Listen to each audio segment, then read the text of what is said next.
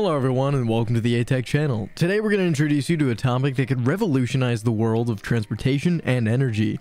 You often hear discussions about global warming, but not so often do you hear about concrete solutions, right? Well, you should know that Germany is taking a very serious look at the subject. The country aims to produce green methanol. According to them, this is a fuel that could save us. But where does the interest for the gas come from and how can it be produced? Stay until the end of the video to find out. So, for some time now, green methanol has become the most serious alternative to gasoline. In addition to being responsible for the emission of greenhouse gases, it is predicted that no longer will be in a few years. Indeed, many countries are now trying to find solutions. Some have even resorted to synthetic oil. But in the face of global warming problems, the list of alternative to fossil fuels is reduced to just a few names. Green methanol is one of those solutions that can contribute to the reduction of greenhouse gases in the environment. But where does Germany's interest in this type of fuel come from? To answer that question, we must first understand how it's produced. Let's go. A project to produce green methanol was recently launched in Leuna, Germany. It is supported by Total Energies, a manufacturer of Sunfire cells, but also by two other key institutions. The Fraunhofer Center in the Chemical Biology Processes and the Fraunhofer Institute for Microstructure of Materials and Systems. As a result, Total Energies is currently able to produce around 700,000 tons of methanol per year, this is done from fossil fuel feedstocks in Leuna, and it has become the largest producer of methanol in Europe. This project is a critical step towards climate neutrality. To achieve this, a combination of three innovative processes has to be tested. These include the use of CO2 from the refinery, the use of green hydrogen produced by high temperatures, and the synthesis of methanol. Methanol is a fuel synthesized from hydrogen and carbon monoxide. This is a more concrete approach to reducing greenhouse gases in the atmosphere. In fact, the oxidation of carbon monoxide, carbon dioxide contributes to global warming. Carbon dioxide is produced by most industries in the world. Many countries have a system for recovering the environmentally harmful gases in their storage. It is this gas emanated by industries that interest researchers a lot. It can solve many problems. Indeed, for years, researchers have been trying to recover CO2 and to be able to reuse it. The answer is methanol, which is produced using CO2 as the main component as its manufacturer. The production of methanol involves two gases, in particular hydrogen and carbon dioxide. Hydrogen is combined by a reaction called electrolysis of water. This is an easy reaction to separate water from hydrogen and oxygen. As for carbon dioxide, is it obtained from storage systems received from this gas. To produce methanol, we need an electrolyzer that can produce gases in a synthesizer reactor. The reaction takes place in the presence of the catalyst such as the copper or zinc oxides at the temperature of exceeding 250 degrees Celsius. It also occurs under high pressure. In general, the product obtained after these different reactions contains nearly 3-fourths of the methanol and 1-fourth of water. Distillation then can be required to remove any impurities that may interfere with the proper functioning of methanol.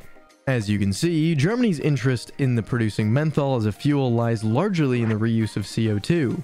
In fact, an amendment that has been made in the country's climate protection law. The Federal Constitutional Court has moved up Germany's deadline for achieving carbon neutrality targets by five years. Instead of 2050, the date is now 2045, especially since Germany is known to be most industrialized country in the world and therefore one of the major producers of greenhouse gases. It is true that a policy has already been put in place to recover and store CO2 emitted by the atmosphere, but the problem of storing may appear at some point. According to Germany, the solution lies in the production and the use of methanol as fuel. In fact, various projects have already been initiated to help industries deal with the CO2 storage problems. Most of these projects have been abandoned due to their cost and environmental impact. Among these projects, CO2 Brutal is undoubtedly one of the most promising. Many countries, such as Iceland, are already using this technique to allow carbon dioxide to be returned to more environmentally friendly form. Indeed, the technique allows us to recover carbon dioxide present in the air in storage places. The gas in this is then liquefied to facilitate its burial on the porous basaltic rocks. It is at this point that the Earth's then liquefied gas turns into carbonate, which is more sustainable form. This technique has already been used in Germany, but the project is expensive and not profitable in the long term. This is why the country is learning to lean towards more methanol, which could allow the CO2 to be recovered. But the question is whether methanol is really ecological. In fact, it is normal to ask the question especially for its use as a fuel. Many car manufacturers have launched projects to produce vehicles that run entirely on methanol. This is made possible by the fact that cars running on this type of fuel are very similar to those running on gasoline. From a technical point of view, manufacturers will have no problem with these vehicles. The construction does not require major changes in the production lines. As the question about the contribution of the preservation on the environment, it is different. Indeed, vehicles using the methanol as fuel do not emit particles harmful to the environment. Here, methanol is considered environmentally friendly. But the rub is the combustion reaction in the engine. Cars running on methanol produce water and CO2. In this case, shouldn't it be classified as a toxic fuel and not green? To shed some light on this issue, we need to go back to the techniques of methanol production. By using the CO2 emitted by cars and the industries for its production, it also produces CO2. In other words, we achieve what is called carbon neutrality. This reduces the emission of greenhouse gases into the atmosphere. In addition, previously emitted gases are reused in order to give the Earth a little respite.